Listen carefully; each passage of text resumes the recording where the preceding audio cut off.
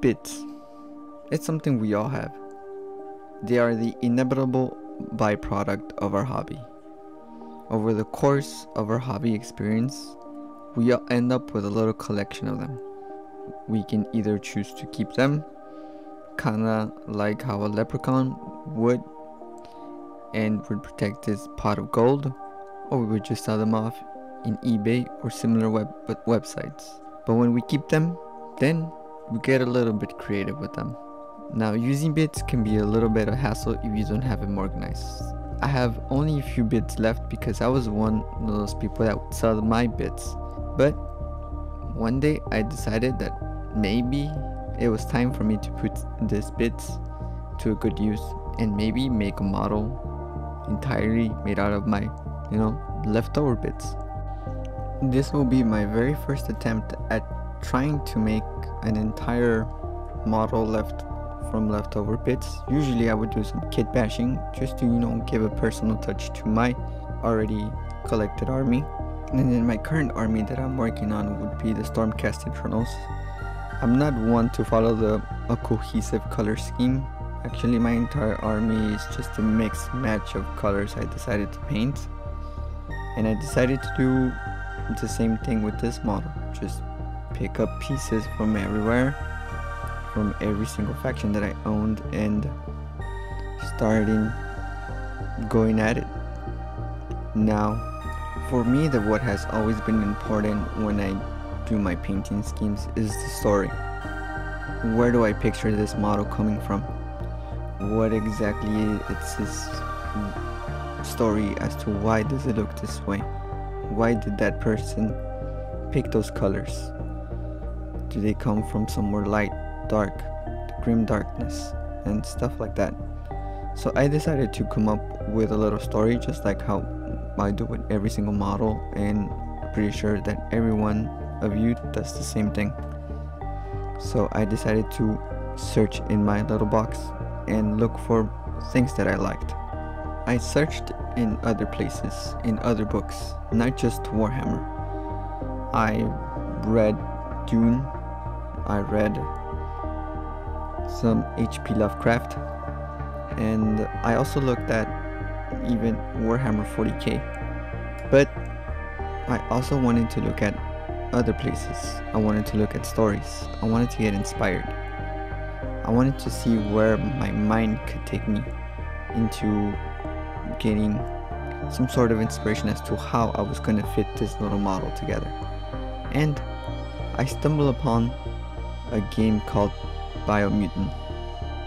Now, Biomutant is a fairly recent game that has had some mixed reviews online as I have seen, but the concept was interesting to me.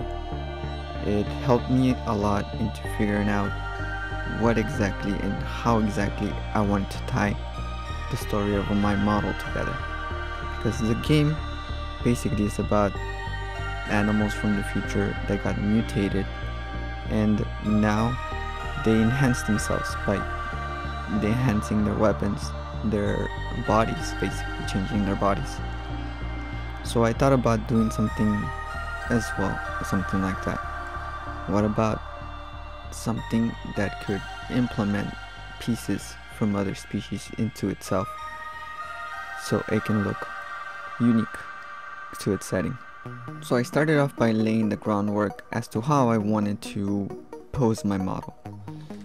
I got the pieces that I had chosen, which were a bottom half of a Stormcast Eternal that I had cut off for a previous kit bash that I had done, the body of Arkhan the Black that was left over for when I did uh, my Neferata model, and the banner from one of the orc boxes, which is going to be the head in this case.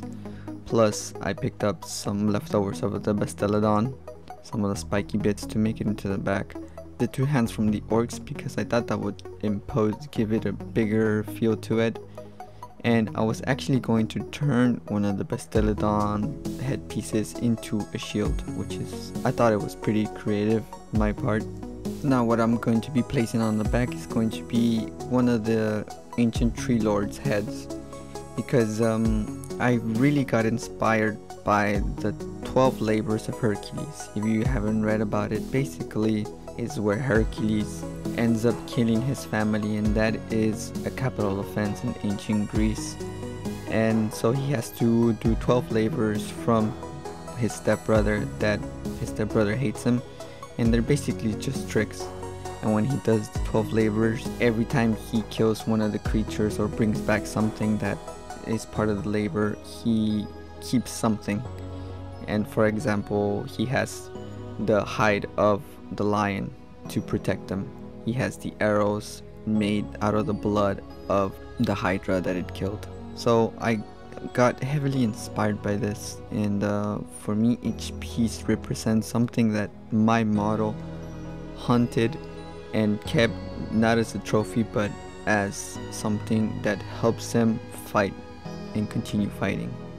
Once the story and the background of my model was done, it was time for me to move on to make the actual position of how I wanted to make my model look like. Now this is going to be just a very quick and simple way of showing you how I basically came up with a rough graph as to how my model was going to end up looking at in the end. I decided to place some places where I thought they made sense. Obviously the body was gonna go where the body goes, the head was gonna go naturally where it goes. But where I decided to branch off a little bit was actually the back part. I already set up in my mind that the headpiece of the Bastiladon was going to be the shield. So all I had to do was just set it up where it looked kind of natural in positioning as to how a shield will look like. And afterwards it was just like lego pieces. They were all gonna go where they were supposed to go. Now for the back part that's where i decided to branch off a little bit. And uh, actually my rough craft did not ended up looking how the final product was going to look like but it was the same concept. I wanted to mm, give it like if it had some sort of like wings or something. Uh, the story behind as to why I decided to put this was because this kind of was kind of my version of the lion um, king that uh, Hercules had gone. This is what he uses to protect himself. This is what is his uh, shield. That's why he also has it as a shield is something that cannot be broken, it cannot be pierced. So that is why I decided to put that. Now for the head of the tree lord, my story as to why I decided to put there is because for me it represented something spiritual, something that my model was not used to. So when he cut off the head of this tree lord, he used he uses it now as some sort of like some sort of spiritual protection, some sort of way to get into the mystical side that he's not connected to. So he uses this as his spiritual voice, as his way of seeing things differently. He uses it as a mask or he uses it as some sort of protection bubble. And so this is how my model ended up looking. Afterwards, I continued into now starting the process of gluing everything together. And also using my green stuff that you can see to be able to have to be able to hide those uh, pieces that are gonna be very very rough and as is obviously how you can see here they don't perfectly fit to one another so I had to use a lot of green stuff to be able to hide those imperfections and to sort of sculpt my way into having a coherent cohesive piece or one piece. Now, green stuff is a very creative tool that we have when we use kit bashing. We use it to hide imperfections or just uh, fill up some gaps that uh, we have on the models itself. Um, here I wanted to use my green stuff to be able to marry these two pieces together because they are very rough very rough on the edges. Kind of like our relationship, how it starts. But once you get all of this together and all this its stickiness after a while it would harden and it would be good to go now here the way I decided to do it was slap it on like if it was some sort of like big belt because you know he's a big guy so he needs a big belt and I'm trying to just sculpt my way into making it sort of be able to make it cohesive as to how he ends up with a body like that with a lower body like that. So it's basically all that it is.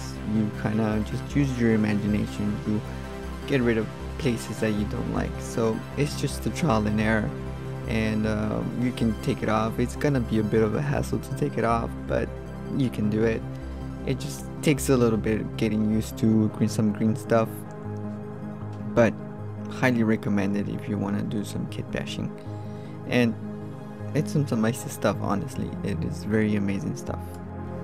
Now after finishing marrying the two pieces together I went up ahead and now glued I use plastic glue or cement glue the cement glue depending on what you want to use um, to be able to just uh, be able to stick my arms in it. But I know for a fact like I said before I was gonna need a lot of uh, green stuff because uh, this scope uh, as it is an amalgamation and just MacGyver Frankenstein kind of monster um, I decided that I was gonna need a lot of green stuff because uh, I needed to make this model look you know normal and it needed to look like it belonged together. And that's the thing about uh, kit bashing and doing what I'm doing. Um, when you do it yourself or people who have done it for a long time um, y'all know that uh, this is basically you being your own sculptor. You're trying to sculpt a model trying to picture this in your head how you want it to end up looking afterwards um, there's people who are way more advanced than I am but you can go ahead and look at their videos or you can get inspired by them. But basically um, also there's some people who actually sculpt designs into their green stuff uh, find like a Milliputty that uh, apparently it's more easier to sculpt with. But uh, here I was just using some green stuff and uh, it came out pretty great. Um, I decided to make this into the Minotaur basically a Minotaur kind of creature. Like I said I wanted to give it its own background its own story. This is not a Warhammer model per se but it is a model that I used with all my Warhammer bits that I have I decided to cut off a lot of stuff. I decided to, you know, like MacGyver a lot of kit bashing, a lot of uh, gluing some pieces together, trying to make it look kind of nice, adding some personality to the models. And that's the thing when it comes to kit bashing, you know. Um, it's the personality. It's the reason why you do it. it. Is the reason why we do it is because you want to add a personal touch to it. Kind of like how I don't like to paint my armies in in a cohesive color because to me uh, every soldier has an own personal touch to it. Yeah there are uniform colors uh, when it comes to like a base color being all over the uniform but other than that people will have torn uh, I don't know shirts stuff like that torn uniforms and uh, like I said at the end um, I decided uh, to change some stuff. Uh, that's another thing when you do some kit bashing is do not be afraid to change your end your end product. Uh, do not be afraid to you know give it a second thought and just uh, look for something else. My idea in the beginning was to put the spikes uh, down but in the end I thought it looked more nicer if they looked up it looks a lot of spiky but I know uh, to me it gives a little bit more personality when you see it from the front. The sword I decided to make it into a sword not a hammer so I decided to cut off that hammer part and just add a sword that I had. Um, and so do not be afraid to change what how you think it's gonna look. And also as you're doing this you will be thinking about a painting scheme um, that is also very important when it comes to thinking about the story as to where it's come from. I will not be painting this model here on camera uh, not yet. Uh, I'm still working on it because I want to work as well as for a base. I want to make it a custom base because I feel like being my first uh, all in bits uh, model I feel like it deserves a little bit better uh, but that's just me. So like I said I used a lot of green stuff um, whatever you want to use you can use. Just do not be afraid to use whatever you have.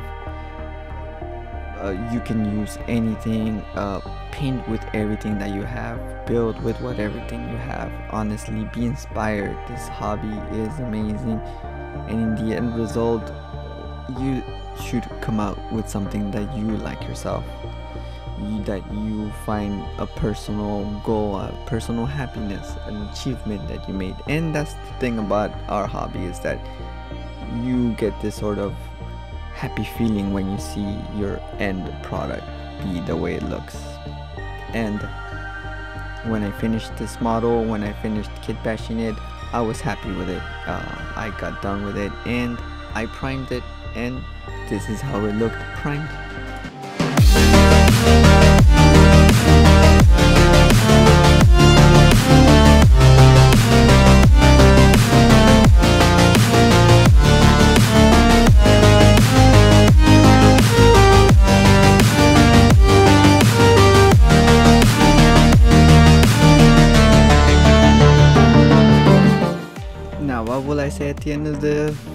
Of this uh, kit bash before it's painted that I loved it.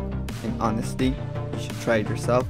You should build your model. And if you don't build your own bits model or if you don't kit bash you should try it. You'll end up loving it. Because like I said this hobby is amazing. And everything makes you happy once you're done with it and you see your end result. So why not give it a shot?